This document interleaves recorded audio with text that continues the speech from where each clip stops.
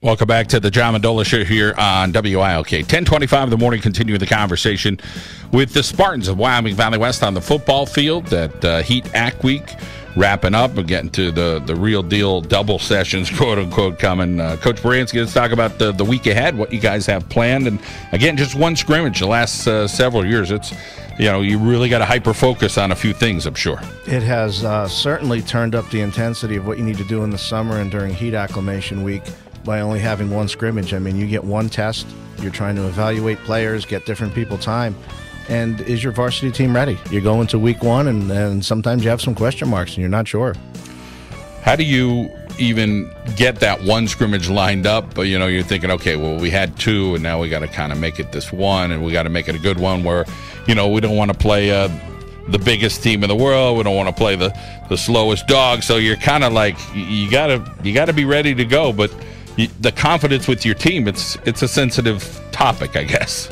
It really is and and what we look for is is a team that's going to be fundamentally sound. They're going to come out they're going to run their offense they're going to run their defense. We get to evaluate our players in, in some one-on-one situations. And uh, so that's really what we look for is uh, we're looking for a quality opponent that, that we know has a, has a strong base offense and defense, and we'll be able to get some work in with them. Brandon Tirado is with us, coach. He's a senior. He's on the offensive and defensive lines. Uh, talk about uh, what you feel he needs to do this year, or what he will do this year. Brandon Tirado needs to lead the offensive line this year. He's played for three years. He's a weight room kid. He may I, he may even live in the weight room for as far as I know. His numbers are off the charts. He's again just like the uh, Dylan and Brendan. He is a high character kid and uh, couldn't be prouder of him. All right, let's welcome in Brandon Tirado here on the John Mendola Show. Uh, first thing that sticks out is that 3.9 grade point average. Brandon, talk about your work in the classroom. Uh, yeah, um, education is always first for me. Um, I usually study more often. But when you're not studying, you're in that weight room. yeah. Where did where did the weight room kind of uh, part come from? Uh, did you were you following another guy on the team? Is just something you kind of somebody in the family inspired you to do, or just something you know self motivated on your own end? Well, yeah, it was more like self motivated when I first got in there, and when I started playing football, uh, I started working out with Zach McDaniels, and that's how we just both pushed each other to our limits. You got a couple siblings, so tell us about uh, what they're up to. Uh, my brother is um, going to King's College this year, so I'm proud of him. He got a scholarship there. Awesome. And my sister, she's living in Scranton right now and has a kid. All right, good for her. Yeah. So you're an uncle. Yes. All right, nice to hear. Well, uh, you like math in the classroom. Talk about uh, teacher, subject, uh, a particular area of math you like. Um, geometry is my favorite like math subject.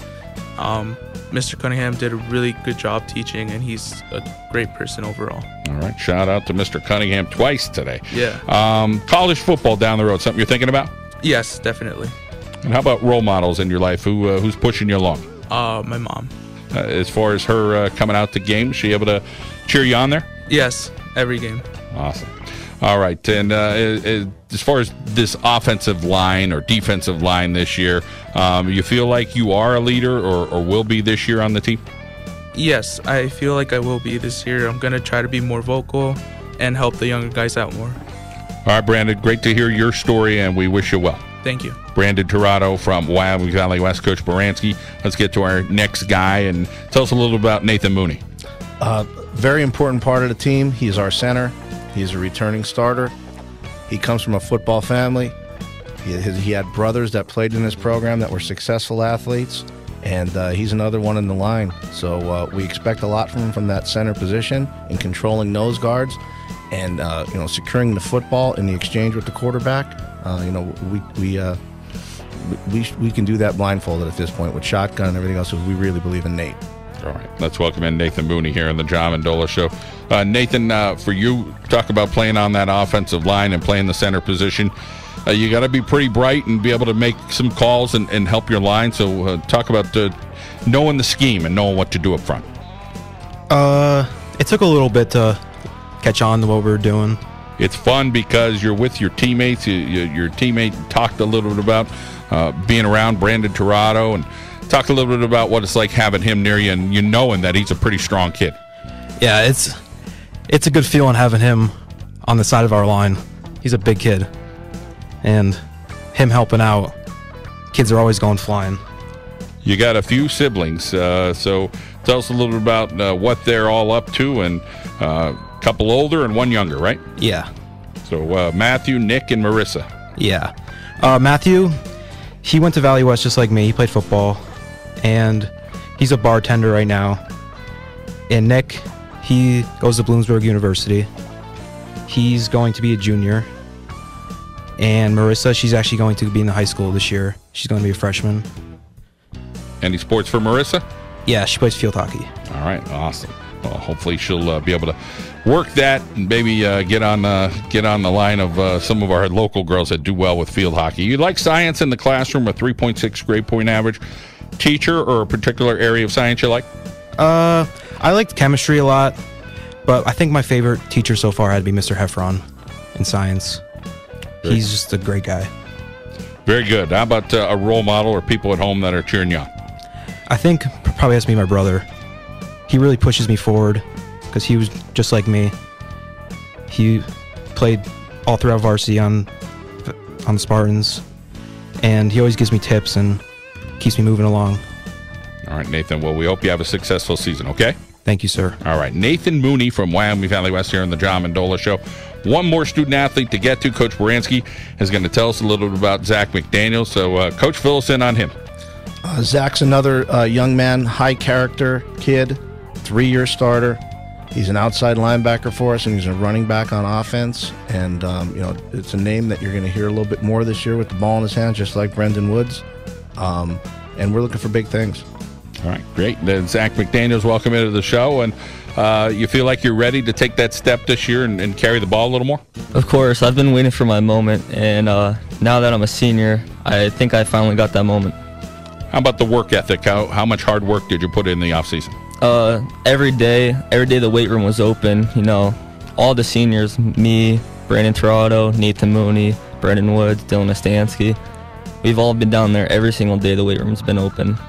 What is it about this team? Um, I don't want to say that nobody knows about, but do you feel like whether it's you guys have a bond, a work ethic, or you got to have a couple guys this year that, that might help this team this year? Yeah, I think our team bond and like chemistry we've had, we've all been friends for years now, and like chemistry goes a long way in football. Knowing that that person's gonna have your back is the best thing. Knowing that. Couple brothers, Brandon and Kenny. Uh, tell us about them.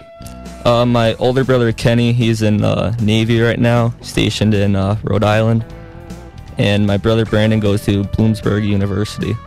All right. Well, it sounds like both of them are doing well. That's for sure. Science uh, is one of your favorite subjects. A 3.9 grade point average. These Spartans are killing it in the classroom. Um, a favorite teacher, a favorite area of science?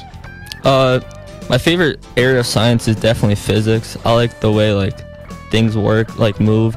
It kind of ties in with football, like how what's the velocity of a football going at a certain speed or whatever.